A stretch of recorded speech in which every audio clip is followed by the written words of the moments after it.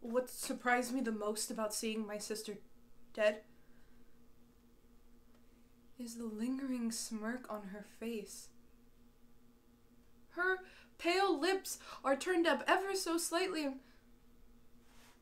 Did someone fill in her blotchy eyebrows? Damn.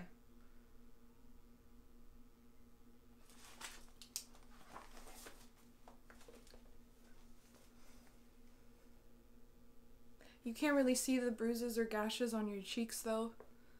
So that's good. Even though you do look a little sick.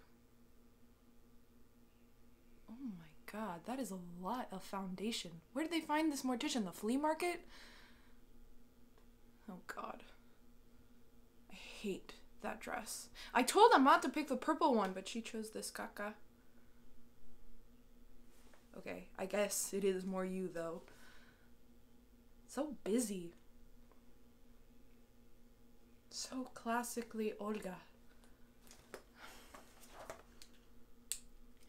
I don't know why you never looked or acted like a normal 22 year old.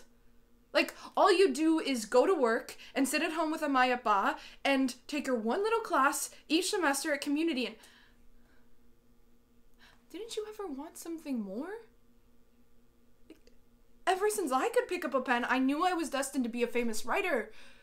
Like, people are going to stop me in the middle of the street one day and say, Oh my god, are you Julia Reyes, the greatest writer that's ever lived? And I'm gonna be like, Yeah, peace out, motherfuckers!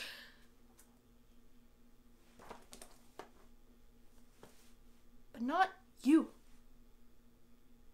Not Olga.